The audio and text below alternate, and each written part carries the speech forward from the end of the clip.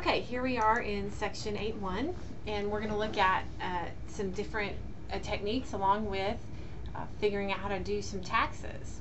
In April you'll be doing your own taxes maybe and we want to take a look at how, how we can do that. Um, before we start, let's um, do a little bit of review.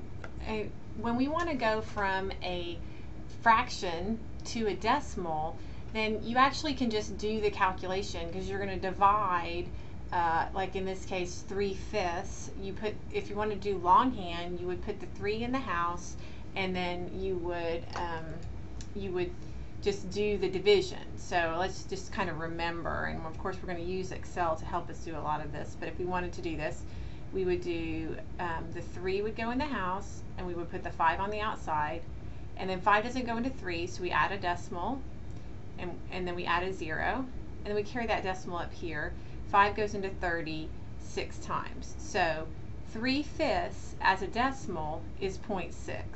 3 fifths is equal to 0.6 as a decimal. All right, say we didn't want to do that. Of course, you can do it in your calculator, or Excel is actually a calculator. Right, so um, in this cell A1, I put the equal sign up in, this is the function bar, so I put an equal sign, and then I'll say 3 divided by 5, and then I can hit enter. And right now, mine is actually set up to go ahead and just make it a number. If I come into the ribbon right here, it'll tell me all the different number formats. And right now it's just general, which is like a decimal. But if I wanted, I could come down and I could ask it to write it as a fraction. And it would give it to me as 3 fifths. But I want it as a decimal, so I'll just say a general right here. Or I could have said number, and it did 0.60. Now, if I wanted more decimal places to show, I would push this button right here, sorry, this button right here, which would increase the number of decimals. And I can increase as many as I want, or I can decrease as many as I want. So that's kind of a little fun little Excel trick. Okay. Um, now, the next uh, question here, it says, a decimal can be written as a percent by moving the decimal place to the right um, two places, two places to the right and adding the percent sign. So 3 fifths, which was 0.6 or 0.60 as a decimal, is really 60% because I moved this decimal to the right two places. Well, I can actually have Excel do that for me by, once I have this cell highlighted, if I just go to the little percent symbol and I hit percent, it converts it to 60%. So that's really a fun um, tool in Excel. So if I want to do number two, I can do it with my brain. If I want to express 0.003 as a percent, I, I know I just move the decimal to the right uh, one, two times, so it's 0.3%. Or if I want Excel to do it for me, I can come into any cell in Excel. So here I'll just choose cell B3. And I'll come up into the function or formula bar and I'll say equals, and then I'll do 0.003 and I'll hit enter. Then I'll go back on and highlight the cell and choose up in the ribbon the percent style. And notice it says 0%, but um, I know that it's 0.3%, so I need obviously to increase my number of decimals, so let me do that. If I click a couple of times, I can see that it should have been 0.3. So sometimes you need to format it so you see enough decimal places. Okay, um, now if we want it, what if we want to go from a percent to a decimal? Well, a percent can be written as a decimal by moving the decimal places place uh, two places to the left and removing the percent sign. So this 130% is understood to be um, 130.00 and so you would just move your decimal. So let me just write that for you. So you'd be right here. And you would take that 130 and percent is 130 with a decimal and you're going to move it to the left two places. So you would go 1, 2, and that would be your new, as a decimal, it's 1.3. 1.3 is 130%. So the answer here is 1.3. And so the same thing can be done here if you come into Excel and you just type like in D3, if I type 130 and then I hit the percent symbol, which is this on the keyboard, it's the shift for the 5, and now if I just hit enter, um, and I want to make that a number now, I'll come back up to D3 and notice how it changed it to percentage. If I want it to be a number, I can click number and it'll convert it to a number for me. So Excel's real a really handy tool to go back and forth between numbers and percents. Okay. Um, many applications involve percent, involving percents are based on a formula, and um, and that is the A in this formula. A is the percent of B, so A is P percent of B. Know that the word of implies multiplication, and you can use this formula to determine the sales tax collection collected by states, counties, and cities on sales of local items. The sales tax is the percent of the cost of an item. So like in um, County, I think it's like 7.6 or something is our tax rate. So here's an example. Suppose the local sales tax rate is 7% and you purchase a graphing ca calculator for $96. How much tax is paid? Well, you can do that right here in Excel. I'm choosing A5 into the formula bar. I'm going to do an equal sign. And I'm going to do um, the tax rate and I have two choices. I can make it a decimal or I can write 7 and then do a percent and then times uh, 96 and then hit enter. And it does the calculation for me. Um, it takes 7% of $96 and it gives me the answer of $6.72. So that's how I can answer that. Now it says, what is the total cost of the calculator? Well, here's another, this is kind of a fun thing to do in, in Excel if I take what's in A5 and I add it to the original price, so um, I'm going to be in A6 right now. I'm going to do an equal sign, and I'm going to say take $96 and add. Now, instead of just adding, typing in 6.72, you can actually grab what's in the cell, what's in A5. If I just click on it, notice it just grabs A5, and then I can hit enter, and all it did was take the 90, it did what you think, which is 96 plus 6.72. So that's just kind of a fun Excel function, again, practicing using Excel to do some calculations. So it's $102.72. Okay, now the question is, what is the total cost of the calculator? Oh, we did that already, I'm sorry. Now let's do uh, number five. It says an exercise machine with an original price of $860 is on sale at 12% off. What is the discount amount? Okay, let's have Excel help us do this. We want to figure out what 12% of 860 is. So I'm in cell A9. I'm going to come up here. In order to do a calculation, I have to hit the equal sign. Then I'm going to do 12 and then the percent symbol and then times 860. The times is um, the it's the little um, it's like a little star and it's the shift key for the 8. And I hit enter. So this is how much it's off. $103 off. Okay?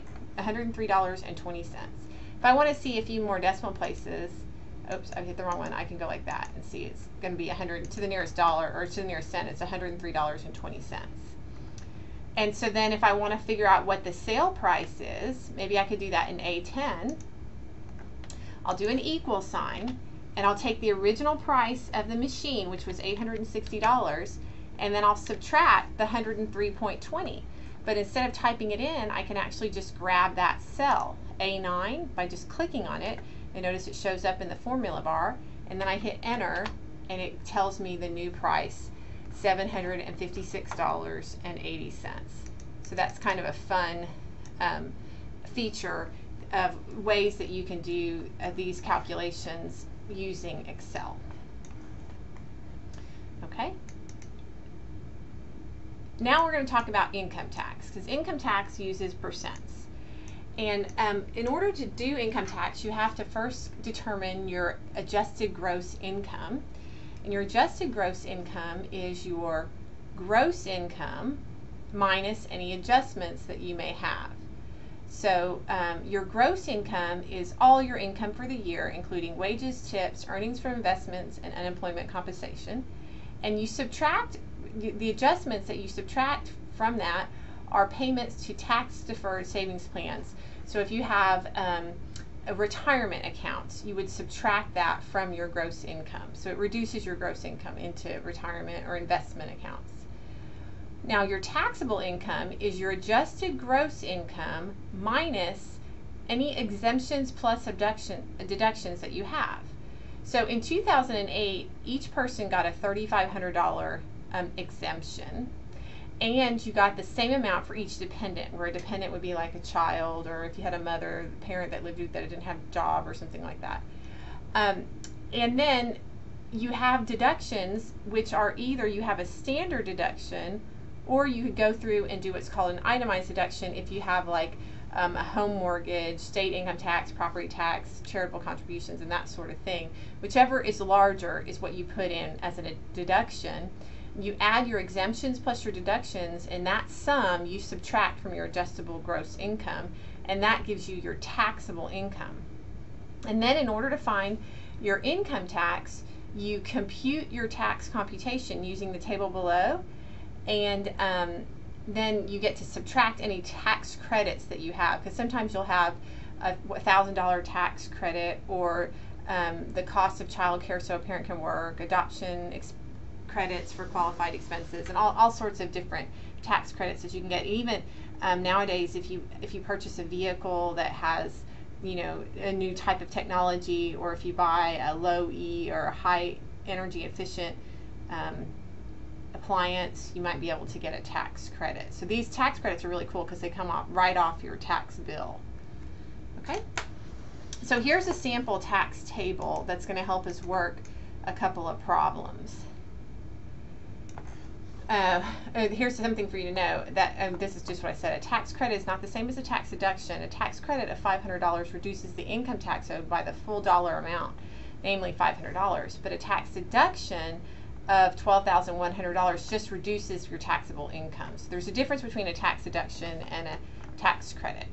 All right, so here's our situation. We have a um, single male with no dependents, and he has a gross income of 75000 and he has an adjustment of 4000 So this must be money that he's putting into retirement, into a retirement account. Um, now he has a mortgage interest deduction, property taxes, and $3,000 in charitable contributions, and he has no tax credit. So the first thing that we want to look at is um, that he's a single male with no dependents. So that's going to be this first column right here that we're going to use. Now, in order to figure out his um, taxable income, we need to follow the steps above. So the first thing you do is you take, um, you determine your adjusted gross income by taking your gross income and subtract any adjustments that you have. So his gross income is 75000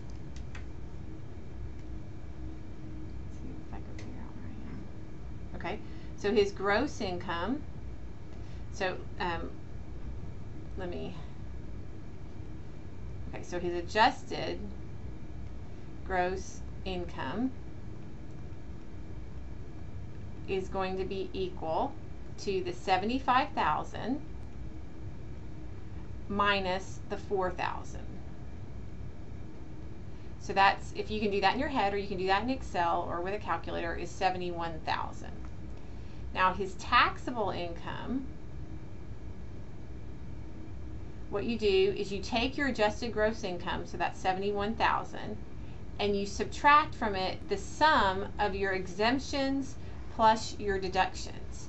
Now, it's just a single man, so his ex exemption, the standard exemption, if you look at the table, is $5,450. That's his, uh, uh, sorry, uh, his standard, his exemption is $3,500. And his, the standard deduction would be $5,450. What you're going to do is you're going to compare that standard deduction to the sum of these deductions the 28,000 plus the 4,200 plus the 3,000. And whichever's larger is what you're going to, to use. So it's 71,000 plus, it's 71,000 minus the um, exemptions plus the deduction. Now the deductions you're going to look you're going to choose either the standard deduction or the sum of his deductions, whichever is larger. And the exemption, you're going to do $3,500 per person, but since he's single, it's just going to be 3,500. So we're going to be doing this 71,000 minus the exemption, which is for him, since it's just a, thir- a single person, 3,500, plus the deductions, which you could probably look at this and see that the larger number is going to be the sum of these deductions that he has, the 28,000, 4,200, and 3,000. So I'll just come up here in Excel and figure out what that is. If I do an equal sign, and I do 28,000 plus uh, 4,200, 4,200 plus 3,000, that's um, 35,200, that is going to be his um, deduction. So 35,000. Uh, how much was it? 30, sorry, $35,200.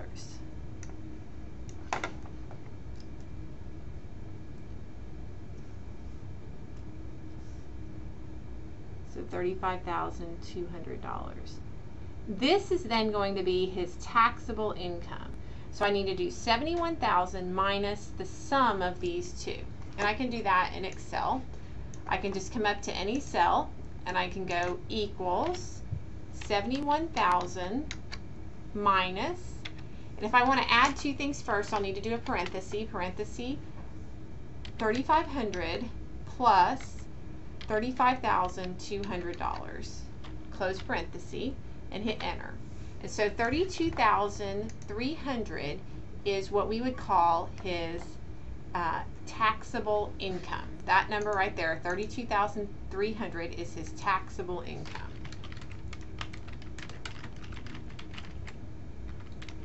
Okay, and if you want to make this um, column bigger so you can see it, that's it right there. 32,300 is his taxable income. All right, now what do we do with that? Well, now we're ready to calculate his tax. Uh, you'll see that for up to $8,025, he's going to be taxed at this 10% um, rate. And then um, the remainder of his salary, which is going to be from 8,026 to, well, we have to just figure out what that is 32,300 minus the 8,025 that's going to be taxed at the 15% rate. So we're going to have tax at 10% is going to be $8,025 of his um, income. And then tax at 15%, how will we calculate that? Well, what that will be is equal to his total taxable income. So I'm going to do the equal sign. I'm going to say the total taxable income and then I'm going to subtract what's already taxed at the 10% rate, which is the 8,025, and I hit enter.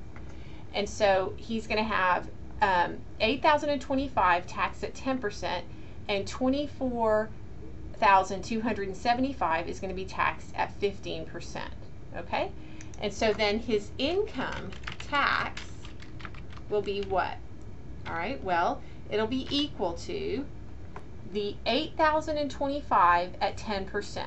So you can say 10% times the 8,025, so that's an E11, plus, all right, now this amount, 24,275, is going to be taxed at 15%. So I can do 15% times, and then I can just grab that cell that's in E12 and hit enter. And so this number right here, $4,443.75, that is his income tax. He has to write a check to the government for that amount. Okay? Let's try another one. It says, um, an unmarried head of household with two dependent children, his gross income is 50000 um, He has no adjustments, uh, um, and we have two deductions. We have a forty-five thousand. I'm sorry, four thousand four five hundred dollars in state taxes and a two thousand dollars theft loss. So six thousand five hundred dollars in itemized deductions. And notice this person is going to get two thousand dollars right off their tax bill because they have a tax credit. Okay, so the first thing we need to do is find their adjusted gross income. Now, um, I'm going to grab this cell right here. I'm going to grab this and I'm going to pop it into my Excel so I don't have to keep going back and forth. So I'm coming here and I'm just going to paste that.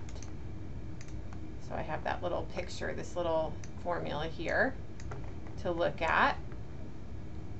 And then um, what other situation, what other things would I like to grab into my worksheet so I can think? Um, I'm going to grab this. Let me grab that. And then also I'm going to grab the whole situation, which is this. And put it into my Excel worksheet so I can show it to you all at once. Okay, so we have an unmarried head of household with two dependent children.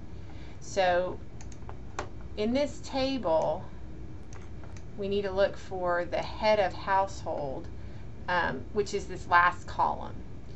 And in this last column for the head of households, notice the standard deduction is $8,000 this person only has itemized deductions of 4500 plus 2000 which is $6,500.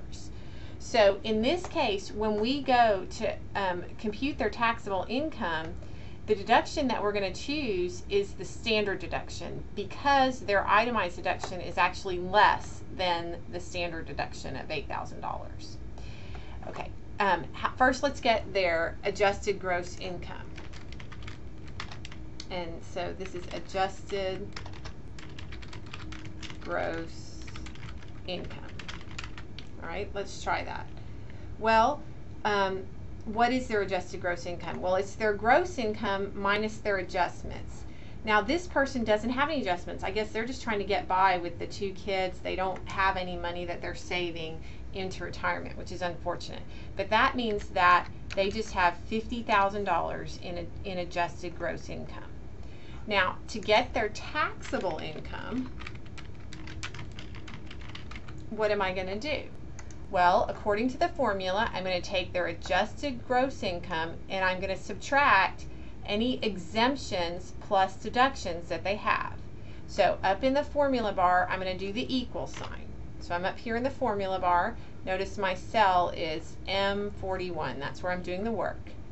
So I'm going to take their adjusted gross income, which is right here in M40, um, and then I'm going to subtract the sum, so I do a parenthesis, and it might be easier to look up in this cell up here, of their um, exemptions, okay? So what are their exemptions? Well, it's an unmarried head of household with two dependent children. So it's $3,500 times 3. So I'm going to do 3 times 3,500 plus, okay, what else? Their deductions. Now, we notice that their standard deduction is for a head of household is $8,000. But um, for this situation, uh, their itemized deductions only adds up to six thousand five hundred dollars. So it makes more sense to use this eight thousand. It's going to get they're going to get more money off their taxable income if you use the eight thousand. And then I'll just hit enter, and that's going to be this person's what we call their taxable income, $31,500. Now from there, we'll use the table to determine what their taxes are. So we'll have their taxed at 10%. What will that be? The tax at 10% will be $11,450. Now, how about taxed at 15%? Well, what you'll do is you'll take their taxable income and you'll subtract $11,450 and that is 20,050.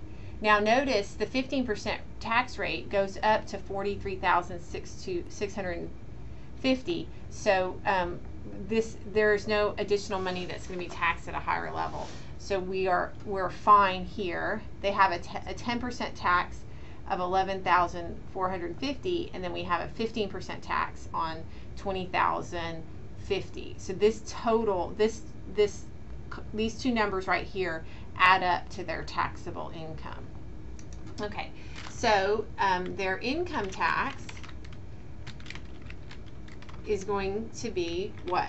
Well, it'll be an equal sign. I'm up in the formula bar, and it's going to be 10% at this number. So I'll do 10% times the 11,450, which is an M42, plus 15% times 20,050. Oops, didn't like that.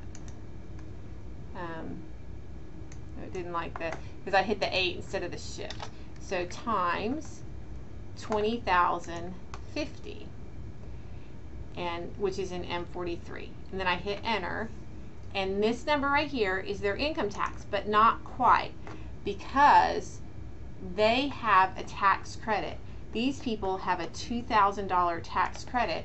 So I get to subtract right off their income tax that $2,000 tax credit. So their final tax that they have to pay to the government is $2,152.50. And if you want to make sure it's 50 cents, you can increase the number of decimals right there to see it as a decimal. Okay? All right.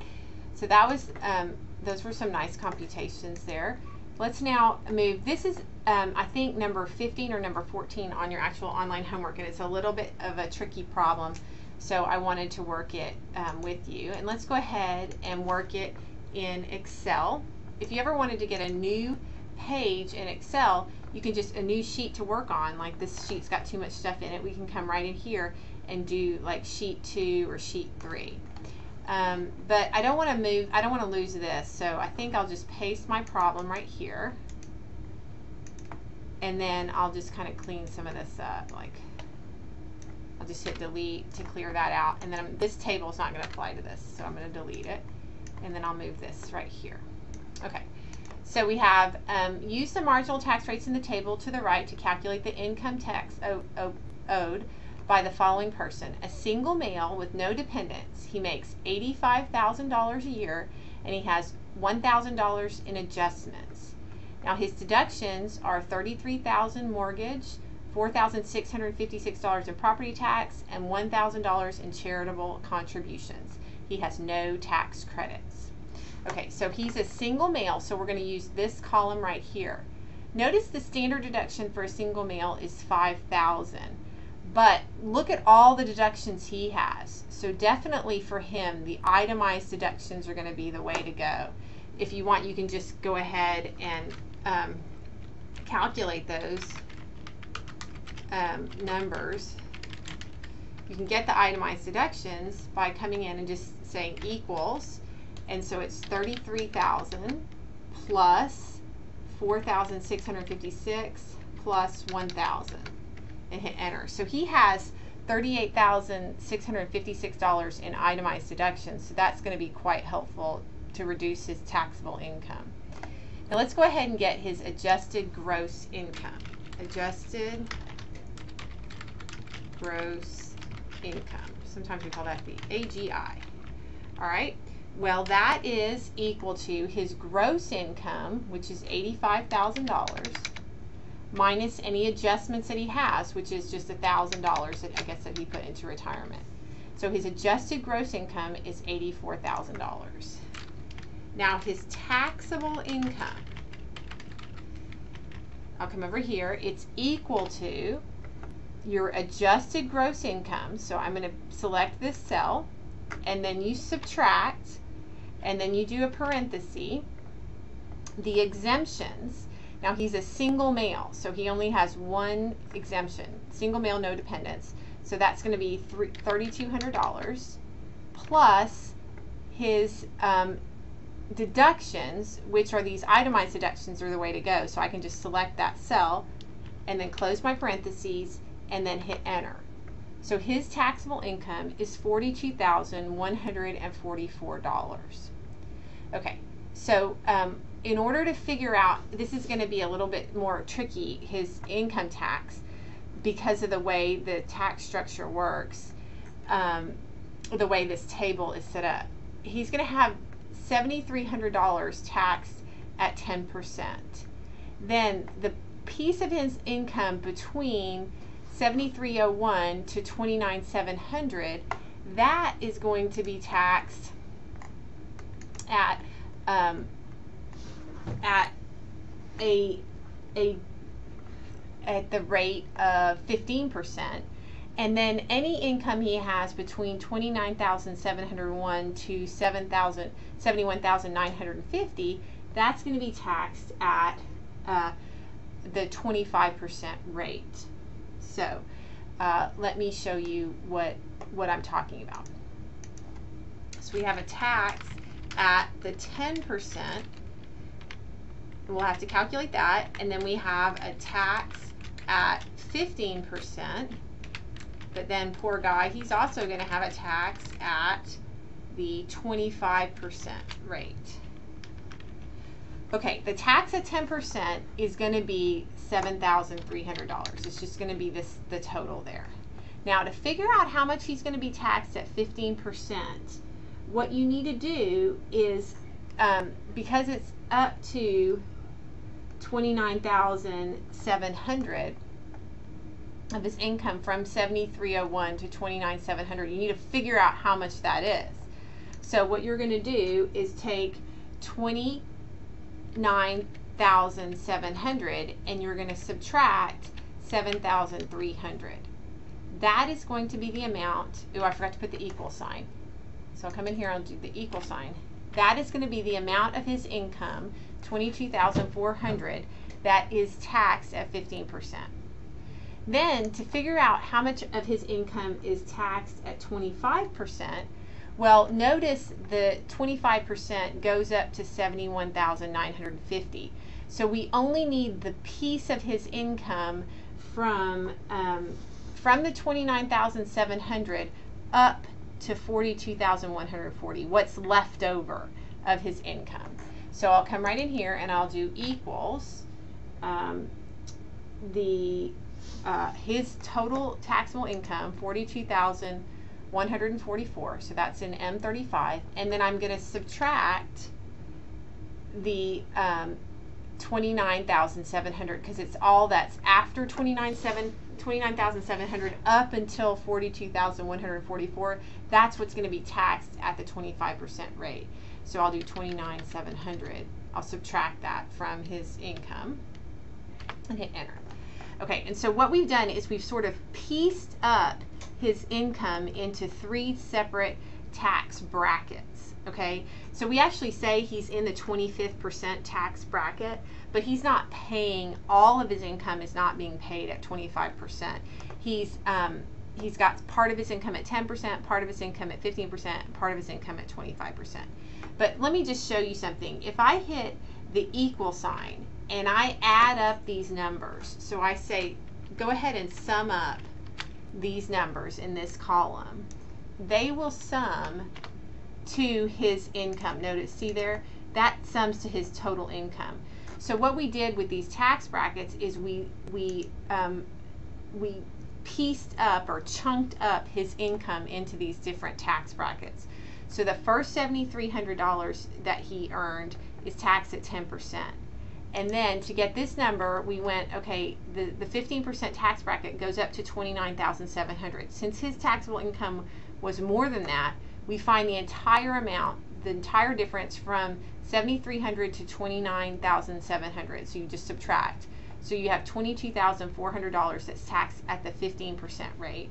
And then when you look at the 25% rate, his income is below the highest of that.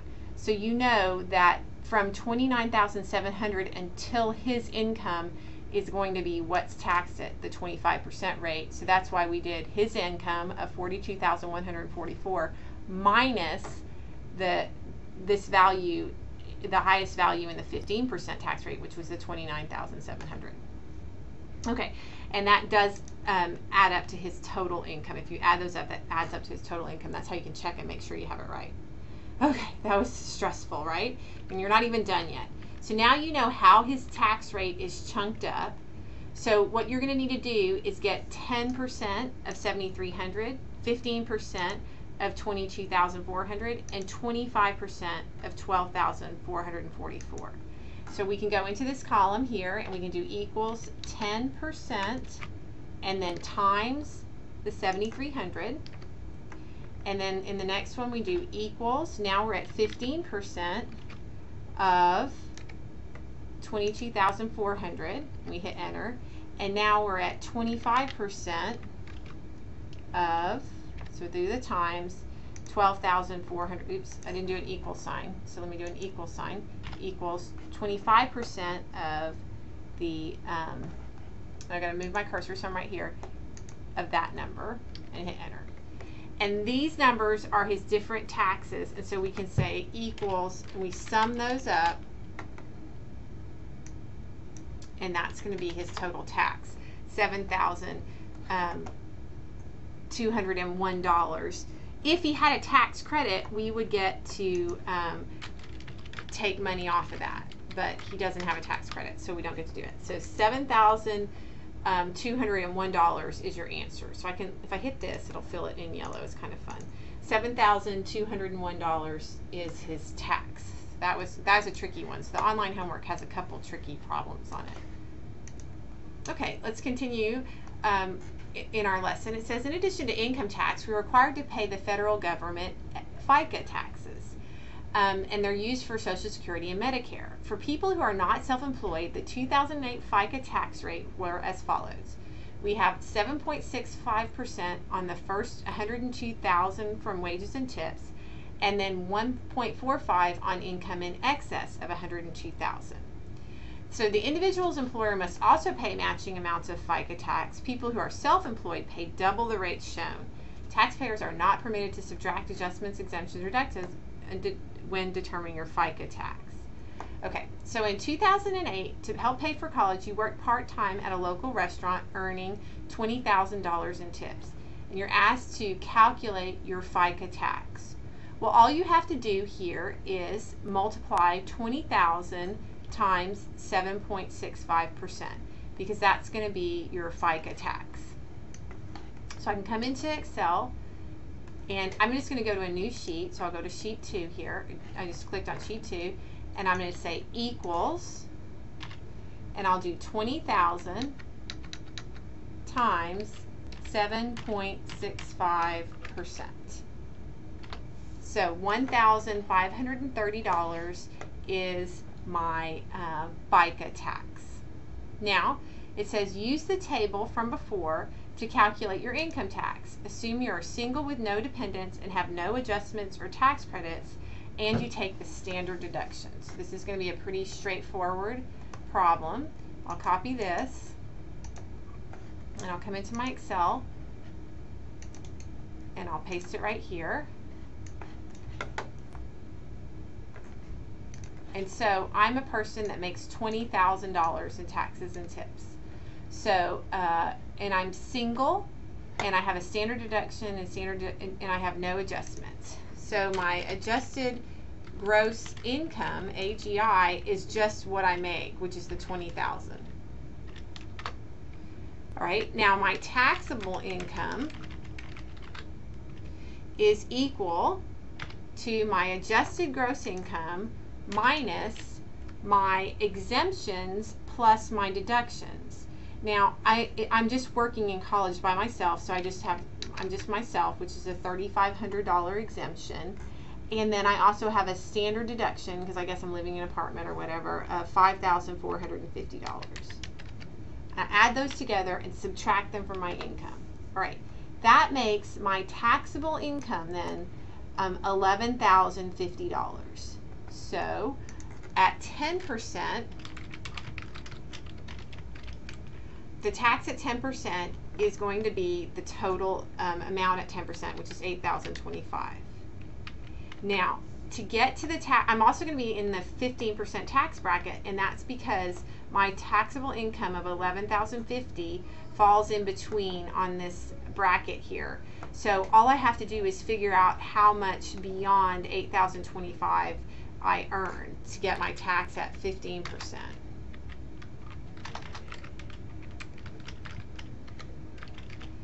So I'll say, all right, let, let me take, this is equal to my taxable income minus the amount that I already paid at 10%, the 8,025. So these two numbers together, added together, at make my total taxable income. So I have $8,000.25 taxed at 10% and $3,025 taxed at 15%. So I can just come into this column, I say equals, I'll do 10% times the 8,025 and hit enter. And in this column, or in this cell, I'll do equals, and I'm going to do 15% times the 3,025 and hit enter. So these are the two tax values that I pay, and I need to add those up to get my total tax. So in this last cell, I can say equals the sum of these two numbers and hit enter. So I have $1,256.25 is my um, are my my income tax. Now, I also have a FICA tax. Remember that was up here of $1,530. So the total tax that I'm paying is going to be my income tax plus my FICA, right? And so my income tax was, um, so now in this cell I can say equals the income tax, which is $1,256.25, plus my FICA, which is the $1,530. So right here, this number in this cell, $2,786.25, that is my um, that is my income. Uh, that's my total tax that I'm paying. So if you wanted, just for fun, if you want to figure out what percent of your income is taxed, well, he made $20,000. So what part of uh, 20000 is $2,786.25. The way you figure that out is you do equals, you take the part and you divide that by your total income, which is 20,000, hit enter, and then you can make that number a percent. If you make that a percent, it's about 14%, or if you want to show a few more decimal places, 13.9% of your income is um, paid in taxes. That's kind of a bummer, right? So that's quite complicated uh, little thought process that's going on there. But once you get your income tax, you add your FICA tax to it. That's your total tax that you've paid. Then you do your total tax, divide that by your adjusted gross income, and then I'll tell you how much, what percent of your income you had to pay to the government. Okay, so let's continue. And I think we're going to get away from calculus, from the taxes, and just talk about this idea of percent increase or percent decrease. So um, when you're finding a percent increase or percent decrease, you always just do the amount of the increase divided by the original amount or the amount of the decrease divided by the original amount. And to make it a percent, once you you can um, you can just use Excel to make it as a percent, or you can just multiply by a hundred. Okay. So let's look at number nine. It says find the percent increase in the average math scores from 1995 to 2007 for the country with the highest average math scores in 2007. All right, in 2007, that's the yellow. Uh, it looks like China had the highest math scores of 607. And um, we want to find the percent increase. So from 1995, it was 557. And in and so we can do this in Excel. I'll come in here and just do a new sheet. Now remember the amount, your percent increase is uh, the amount of the increase divided by the original amount. So you can be pretty snazzy and do this all in one line. I'm just going to put it in the middle here. D4, I'll say it's equal to, let's find the increase. So we'll do a parenthesis and we'll do 607 minus 557 and then close that parenthesis. That subtraction is going to be the amount of the increase and then we divide that by the original amount, which was 557, and hit enter. And then we want to make this number a percent. So we can put, we can go right here on the cell and we can just hit the percent button and it does it for us. Now, if the online homework wants more of a decimal place, you can just increase your number of decimals. Uh, maybe there's three decimal places or however many decimal places they ask for. They ask for two, you can decrease it um, to 8.98%. Okay, now it says find the percent increase in the average math scores from 1995 to 2007 for the country with the lowest score in 2007. Okay, it looks like Iran had the lowest score. So to find the percent increase, we do equals. First we have to find the difference. So I'm going to do parenthesis 402 minus 387, close parenthesis, and then I divide that by the original amount, which is 387. That's the amount that it was in 1995. Okay, and then I want to make this number a percent. I might be able to do it in my head by moving my decimal to the um, right two places, or I can just come right here and put the little percent symbol, and if I want to see a few more decimal places, I see I get 3.88% is the, um, the increase, percent increase for Iran as compared to China who had a 8.98% increase. Okay. Now let's read our last problem here. It says, suppose that you have $10,000 in a rather risky investment recommended by your financial advisor. During the first year, your investment decreased by 30% of its original value. During the second year, your in investment increases by 40%. Your advisor tells you there must have been a 10% overall increase in your original of your original $10,000 investment. Is your financial advisor using percentages properly? If not, what is your actual percent gain or loss of your original $10,000 investment? Okay, well, he's actually not doing a, um, a good computation for you. See, you started with $10,000, so I'm just going to pop that into A4. Then what happened? After the first year,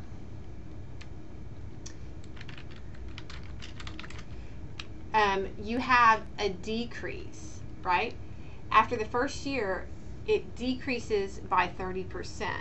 So um, that means you have to figure out what 30% of $10,000 is. So you can go up here and do equals 30% times this $10,000. So the first year you have a $3,000 decrease. All right. Now, the second year, what happens? Well, in the second year, you have a 40% increase of its first year value.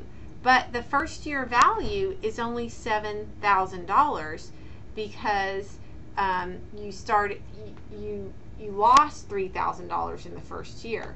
So you could say equals um, $7,000 times 40%. So you have a $2,800 gain. So in actuality, you have a $200 loss, right? You actually lost $200. So actually, so this means that you have a loss of $200. So the value of your account after two years is the $10,000 minus $2,000. So we can come in here, you can do, I mean, minus $200. It's equal to the 10,000 minus the 200 or $9,800. So to answer the the advisor is wrong and if not what is your actual percent gain or loss of your original $10,000 well you lost $10,000 and so I mean it's $200 so you only have $9,800 in your account right now so your percent decrease is going to be $200 divided by the original amount which was 10,000 so you have a um, percent decrease of what? Well, it's equal to the change, which was $200, divided by the original amount, which was $10,000. And then you can make that a percent, and you'll see that instead of him saying you have a 10% overall increase, you actually have a 2% decrease. Because the first year you, you lost 3,000, then the second year you gained 2,800, but you have an overall loss of $200, which means that you have a 2% decrease. Okay, so I hope that this um, lesson got you kind of familiar a little bit with Excel and you were able to kind of work through some of these problems.